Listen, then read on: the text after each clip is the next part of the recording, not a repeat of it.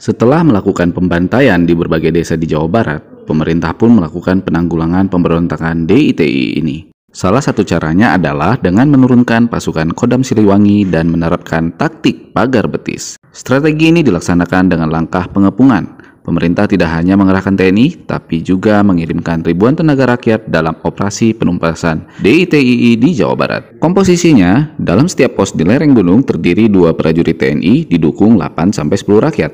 Jarak antar pos hanya beberapa meter, namun tetap mengelilingi basis DTII yang berada di puncak gunung. Setelah satu bulan pengepungan, banyak anggota DTII menyerah karena menderita kelaparan. Bahkan ada yang menyerah karena tidak kuat menghirup aroma ikan asin. Pasukan TNI dan rakyat semakin naik menuju puncak. Akhirnya setelah mendapat bocoran dari anggota yang menyerah, pada tanggal 4 Juni 1962, Kartosuwiryo ditangkap di sebuah gubuk tua di Gunung Geber. Hal ini menjadi bukti rakyat Jawa Barat banyak yang menolak bergabung dengan DTII.